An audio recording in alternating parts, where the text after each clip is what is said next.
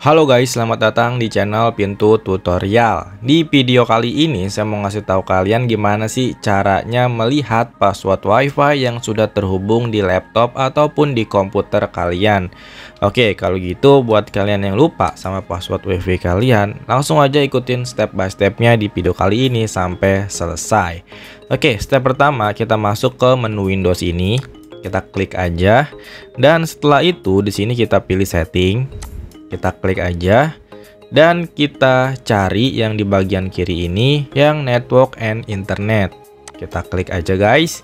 Oke, kalau udah di sini kita cari yang namanya Advanced Network Setting. Oke, ini dia guys ya yang paling bawah Advanced Network Setting. Oke, kita buka.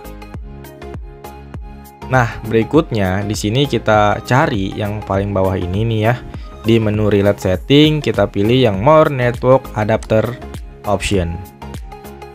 Nah, kalau udah kebuka pop-up kayak gini, ini kita pilih yang WiFi ya. Kita klik aja, terus kita klik kanan. Setelah itu kita pilih yang status nih. Kita klik aja. Dan berikutnya, di sini kita pilih yang wireless properties.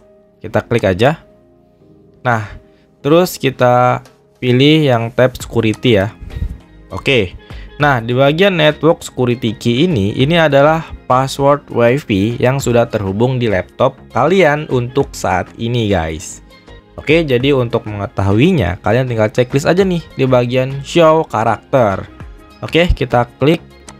Nah, otomatis password kalian bakal kelihatan ya untuk password WiFi yang sudah terhubung di laptop kalian. Oke, jadi gitu aja sih caranya untuk mengetahui password WiFi yang sudah terhubung di laptop Windows 10 ataupun Windows 11.